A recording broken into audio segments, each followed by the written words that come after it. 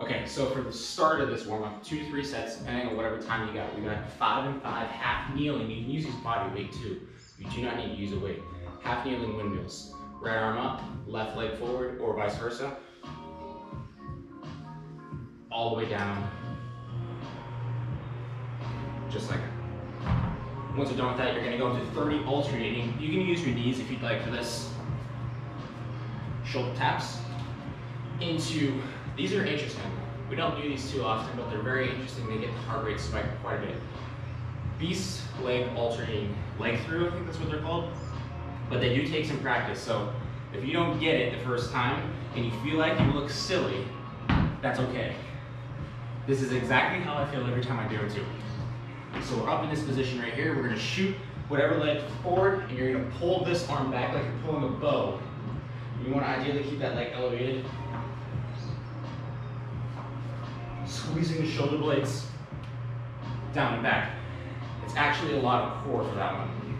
Then you'll finish with a bent hollow hold,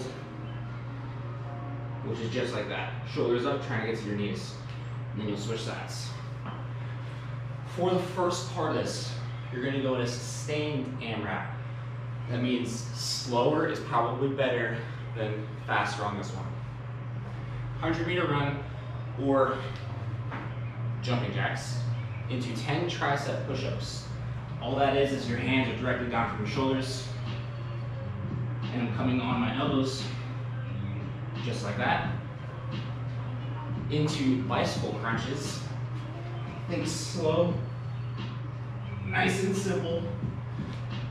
Then you got alternating dumbbell curls. We've all done these before. If you're doing the bodyweight version, you're doing a laying face down snow angel. So what that looks like, elevate up, thumbs touching, and then trying to get your hands touching on your opposite sides. And then you're gonna finish with a uh, hollow rock, dumbbell hollow rock. If you can hold a weight right here,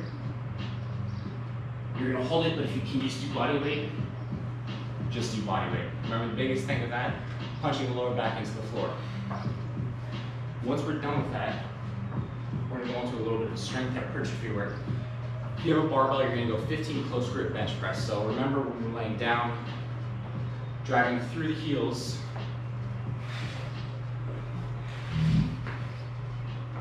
sort of ridging up in the lower back. My grip, I like to do ring fingers on the inside of the knurling, and I'm coming straight down, keeping the elbows 90 degrees, and punching straight up like that. If you're doing the body weight version, you are just gonna do dips. Dips don't matter. Like it doesn't matter if you do a bench dip, like on the bench. It doesn't matter if you do the matador dips or the rings. Just do the dips. Then you're gonna rest. Then you're gonna go into eight and eight single arm raises. So use something to kind of station yourself eight on one side, then we you eight on the other. Body weight rows. Now that's exactly the same thing as a ring row, like how we just demoed the other day, but you're using a barbell. It'll be fixed right here, and then you're just doing body weight rows at that point. That will be the sub for that. And then kettlebell horn curls. If you don't have a kettlebell, you can just grab a dumbbell like this.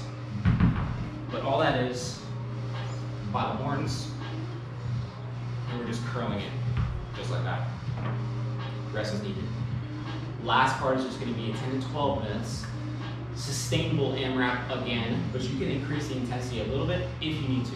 So it's gonna be either that 100 meter run or 25 jumping jacks into 10 alternating plank toe taps. This is a fun move. Gets a little bit of rotation. So be in push-up position, and then you're reaching back, opposites, just like that.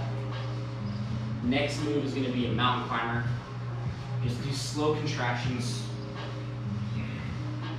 when you do them, and then pike leg lifts. You have, to, uh, if you have weak hip flexors, this is gonna hurt a little bit, but that's exactly what you need if you do. So you're lifting the legs up as high as you can over an object.